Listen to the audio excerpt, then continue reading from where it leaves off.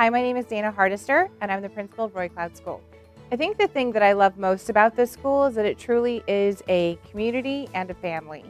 Um, from the teachers to the students to the parents that come in and help out, uh, it really, you, when you walk on this campus, you feel like you're at home.